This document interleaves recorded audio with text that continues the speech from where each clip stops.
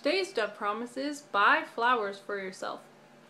And my answer to that is no, because flowers are expensive and they're just gonna die. So instead, I'll buy myself like ice cream or something later, or a pie. I don't know. Something more delicious than flowers. Yeah, the end.